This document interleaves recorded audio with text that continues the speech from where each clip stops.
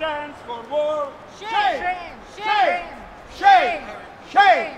Say shame on Georgiev who stands for war. Shame! Shame! Shame! Shame! Shame on the extra Putinois. Shame on Georgiev war supporter. Shame on musicians who support the war.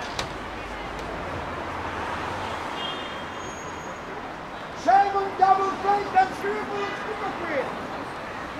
Who positions himself as a messenger of sin, while in Russia he signed the letter of the support of Putin's war. All of them, in Georgia, in Ukraine, everywhere. Gergiev is everywhere. Where blood There's blood on his hand. The thousands were killed with his blessing. Shame on him! Shame! Shame! Shame! Shame! Say shame on Gergiev who stands for war! Shame! Shame! Shame! Shame! Say shame on Gergiev who stands for war! Shame! Shame! Shame! Shame! Shame on Gergiev! Ларушевцы это такая компания серьезная, и поскольку он обгадил себе репутацию в США, у них открылась штаб-квартира в Западной Германии якобы. И дальше я не знаю, что там у них было, но в 2014 году они появились на улицах города с этими гротескными картинками, типа «Путин друг собак», например, и тут же портрет Гамильтона.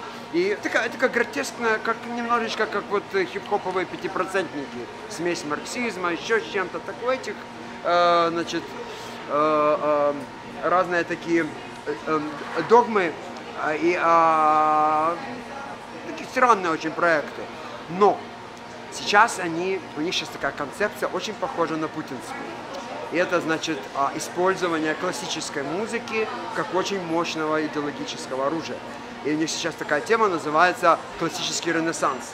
Это классическая музыка, классическое вообще все, классическое построение общества, ну, а-ля ларушевские рецепты, конечно, и так далее. И вот они вот сейчас ходят и а, явно впрыснули в них деньги с 2014 года. Они появились везде по городу с такими переходными амвонами, с которых они несут чушь всякую, там, о Степане Бендере, обо всем такое. У них набор каких-то таких открыточных таких слоганов, дальше которых никто из проповедников этих уличных не идет. Кроме пары там есть человек таких седоволосых. Когда его сильно достаешь, он говорит «до свидания».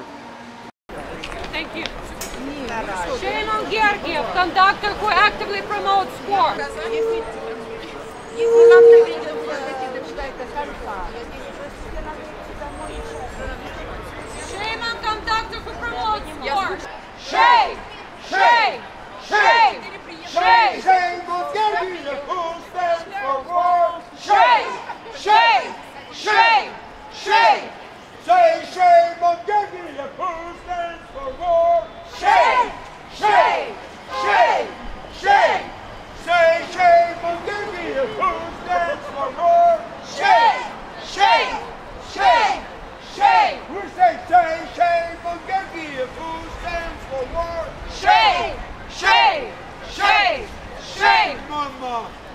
Нашего полку прибыло. А вы, а вы гости из Украины проходили мимо и немедленно присоединились.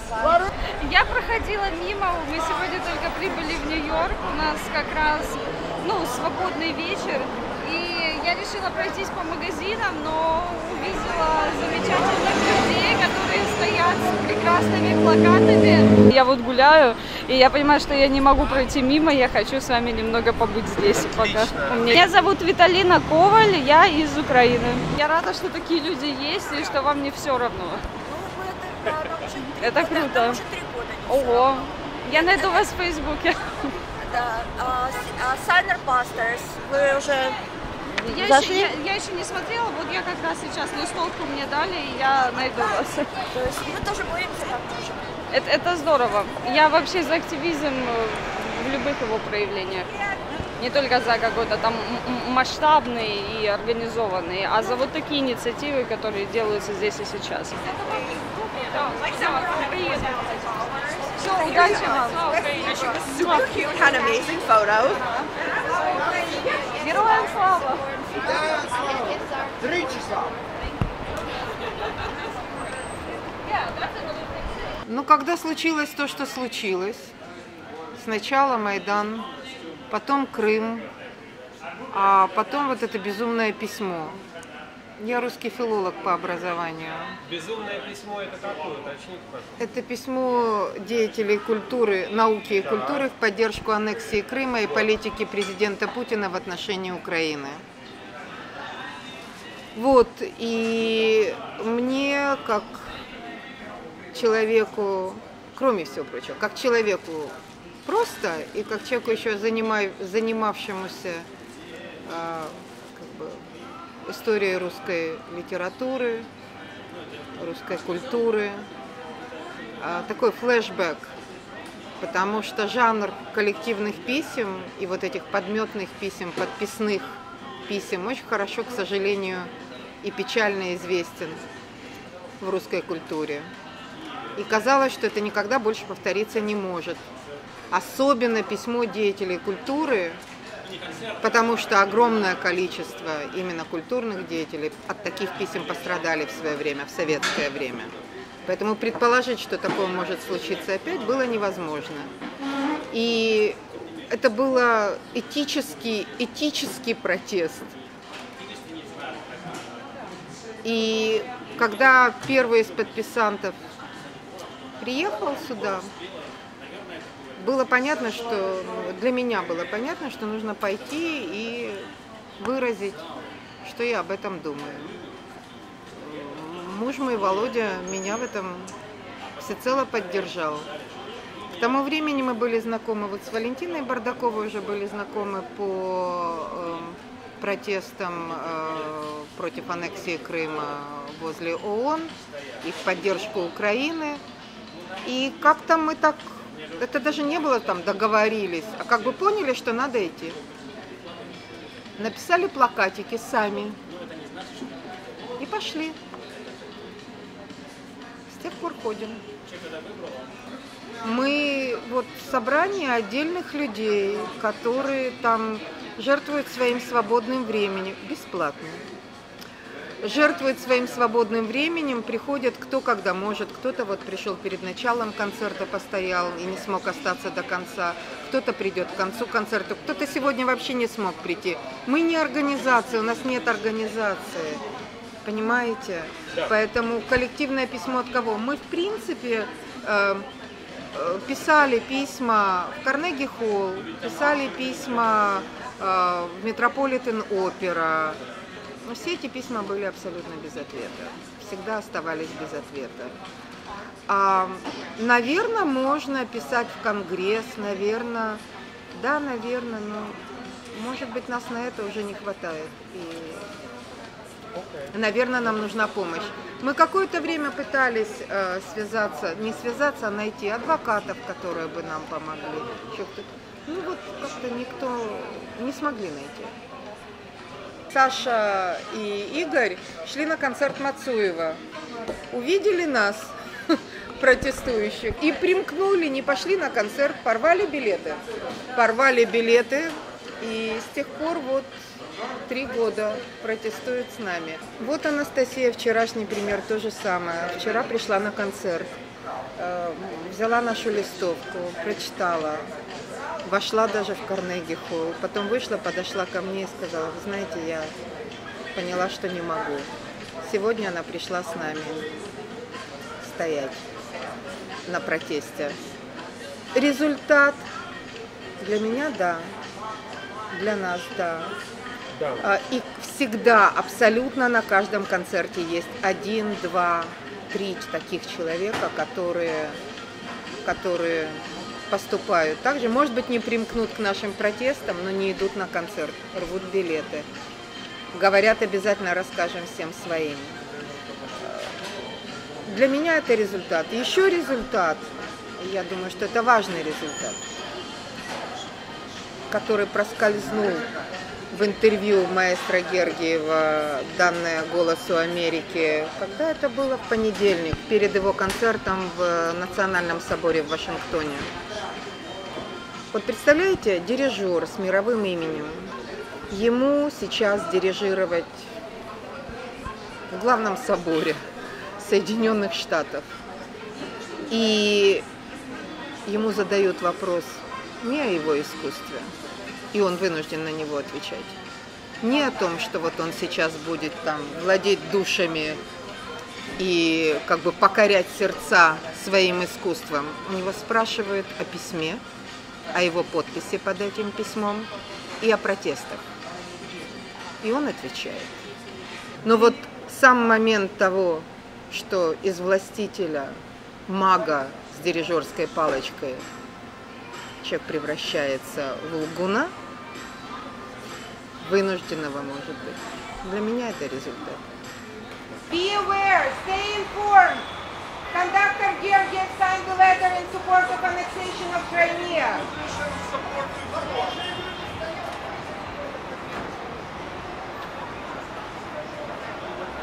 Signed the letter in support of annexation of Crimea. Just be informed. 3 декабря приезжает ныне гонимый в России за свой фильм «Матильда» режиссер, кинорежиссер Алексей Учитель будет здесь вот обсуждать свой фильм, свое творчество 2-3 декабря в Трайбеке, в центре. Мы будем его пикетировать, потому что ныне гонимый кинорежиссер Алексей Учитель является также подписантом письма в поддержку аннексии Крыма и политики Путина в отношении Украины. А единственное, чтобы мне вот, ну, ну так бы мне хотелось ему вот взглянуть в глаза и спросить, ну что, сынку, помогли тебе твои ляхи? Наверняка там будет большое количество достойных людей, многие из которых я вполне допускаю, не знают, что Алексей Учитель подписант, является подписантом этого письма. Я допускаю, поэтому, поэтому мы, мы никого не э, стыдим, ни в коем случае, боже упаси, мы информируем. Я имею в виду из тех, кто идет на такие концерты. Мы не стыдим ни зрителей, ни слушателей, ни тех, кто интересуется там фильмом «Матильда» и встречей с, с его режиссером. Мы информируем. Скажем, постоянные мы, присутствующие за стенами концертных залов для тех, кто там дирижирует, говорит, представляет из тех, кто подписал это письмо. Вот это такое. Нам важно, они должны знать, что мы там. Поначалу, как бы, везде говорили, какие протесты? Не было никаких протестов. Какие протесты? Никого нет. Что вы выдумываете? Какие протесты? Никого нет, нас обожают. Это же мы только одни из есть группа людей, которые организовывают, не организовывают, а осуществляют эти протесты в Бостоне, в Массачусетсе, а, в Вашингтоне. Их же, в принципе, пикетируют по всему миру. В Германии, во Франции, в, в Англии, Канаде. Везде есть люди. Это же не мы ездим, мы же не передвижная группа протеста. Но просто динамика, которая произошла, это сначала от отрицания самого факта протеста. И я считаю, что протест одного человека, он все равно протест. А, до того, что постепенно начали говорить, вот, да, протесты есть, ну кто там, это проплаченные протесты, а звания свои мы уже просто коллекционируем, бомжи, э, ничтожество, бездари, э, пардон, проститутки на пенсии э, и многое другое. Вот, а теперь вот даже российская пресса пишет, что есть все-таки пикеты. Видимо, это стало, не знаю, может быть, стало сложнее игнорировать, не знаю. Анал... Пусть аналитики занимаются этим вопросом. Мы, собственно, группа отдельных людей э, самых разных профессий. Кстати, если это кто-то посмотрит, не бомжи, не безработные, не на пенсии. Ой, и зарабатываем не протестами. Остановить, наверное, нет. Попытаться остановить, да. Попытаться остановить в той компании, в которой мы это делаем, мне кажется, вдвойне почетно. Потому что вот важно понимать, что э, люди, комментирующие видео пикета, говорят там, что это мы бомжи, старые проститутки, приходим за бабло и все. На самом деле это довольно успешные люди. Тут много музыкантов, художники, актрисы Ира Бровина, да, есть. И э, я тоже, извините, мне на помойке нашлась. Вы. И, в общем, очень-очень приличные, хорошие люди, у которых все хорошо в жизни, и которым на самом деле достаточно непросто после тяжелого рабочего дня приходить и вот это вот на морозе стоять. Я думала, что я вчера сдохну в конце пикета. Но все равно сегодня пришла, потому что, ну вот, если не сказать, что ты против зла, то, ну, как минимум, какая-то часть людей будет считать, что никто не борется. Мы видим, да, вчера девочка проходила мимо, э, вернулась с концерта, не пошла на него, сегодня пришла с нами на пикет. Сегодня девочка проходила мимо, приехала в Нью-Йорк просто потому, что она приехала в Нью-Йорк, проходила мимо и подумала, что она останется с нами. Ну, вода камень точит, да, капля камень точит. Ну, если мы не попробуем, то, то кто нам виноват? А так хотя бы попробовать. В прошлый раз, когда была трансляция на фейсбук-странице Карнеги Холла, и мы стояли под Карнеги Холл, мы и писали, чтобы обратили внимание, но потому что важно, чтобы американцы поняли, что ну вот неприлично приглашать людей, которые подписались под призывом начать войну, потому что аннексия Крыма была началом войны, да, и мы понимаем, что э, как бы находясь здесь, там это некие цифры, да, людей, которые каждый день погибают.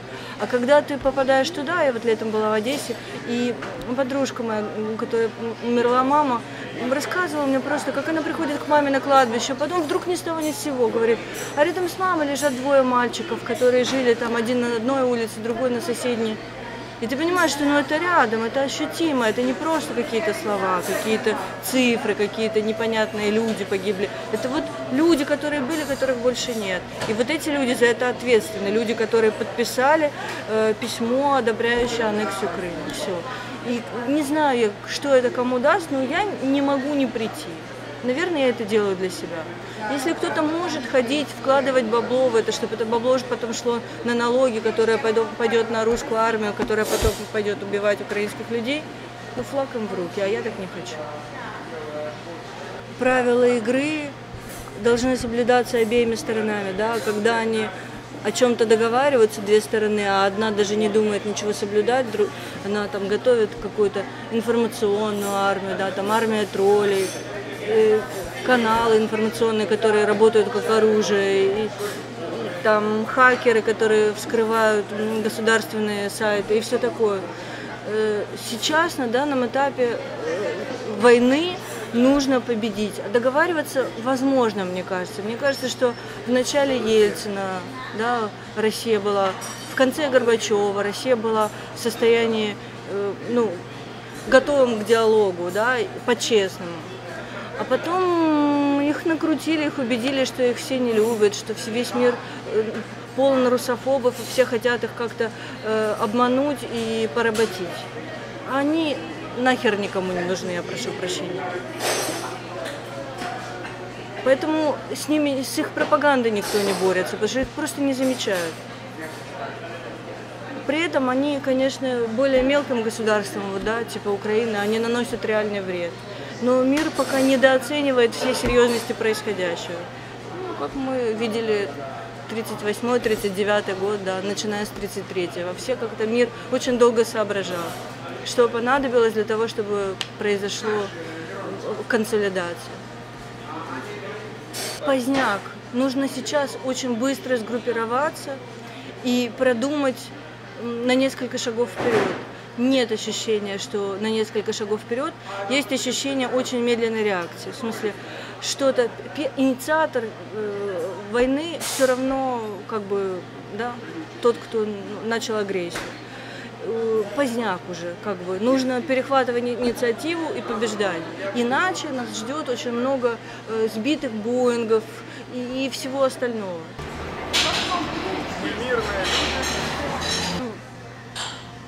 Создается страничка, протест на Фейсбуке, да, и приглашаются все желающие через Фейсбук. Вот. Потом э, мы подаем заявку в полицию. Если определенное количество людей есть ограничения, которые нам нужно брать разрешение на протест, да, а есть, э, допустим, какое-то определенное количество, когда нам не нужно это разрешение брать. Мы всегда уведомляем полицию о том, что этот протест будет, какого числа, какое количество предварительно мы ожидаем участвующих, и э, просим обеспечить нам безопасность, потому как несколько раз, несколько протестов были, прибега- э, зрители э, применяли физическую силу по отношению к нам, протестующим. Вот. И такие вещи, когда полиция, когда полиции нет рядом, зрители чувствуют себя очень уверенно. Маэстро чувствует себя уверенно настолько, что даже э, не брезгует э, сказать и лжет в прямом эфире, говорит о том, что не подписывал письмо. То есть маэстро вот чувствует себя безнаказанно. Настолько уверенно, что он чувствует, что э, его не привлекут за клевету. А, Он чувствует, что я думаю, есть основания на то, потому как он представляет э, позицию президента Путина. Он является и членом Следственного комитета и поддерживает открыто позицию, политику Путина по отношению к Украине. И, то есть, если бы это было ему не безразлично, я думаю, что на сегодняшний день, за, на протяжении уже больше трех лет, около четырех лет, у него была возможность отозвать свою подпись и выразить и открыто заявить о своей позиции. Он этого не сделал. И поэтому его заявление нынешнее о том, что он якобы не подписывал, это все ложь и клевета. И о том, что он заявляет, что наши акции проплачены, это ложь и клевета. Вот, Потому он, я, я так думаю, что это ам, своего рода мера, такая суждение его личное, по себе судит. А, то он не понимает или даже э, то, что не понимает, а не хочет понимать и принимать то, что люди могут выражать свою открытую гражданскую позицию открыто, не за деньги. То, что всех нас объединяет здесь. У каждого есть своя гражданская позиция, и мы здесь не за деньги, мы здесь по собственному желанию. И каждому из нас э, это близко, и каждого из нас болит душа за то, что происходит в Украине и в других уголках мира. И такие люди, как Гергиев, которые открыто поддерживают политику Путина и агрессию по отношению к другим странам, мы считаем, что такие люди не должны приглашаться э, в концертные залы всего мира.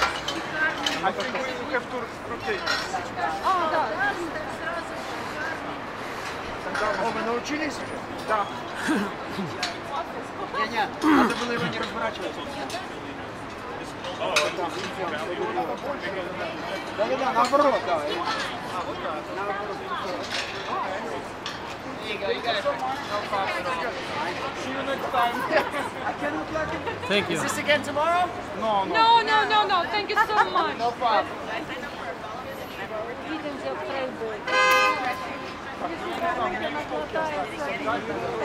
Да, Валентина. Что вы так чаще бываете, я не знаю, как это в следующий раз. Ну, Валентина, сдаем. вдвоем. А это кому? А вон Вовки. Пацаны, целуемся? Рада Когда? видеть, да. Валя, Спасибо, спасибо, все, да. Спасибо. Вы напишите. Катя, вы напишите. Я на машине. А вы на вашей. А куда вы? До нашего призыва. Манфред, он пишет, если вы меня подвезете, то обязательно.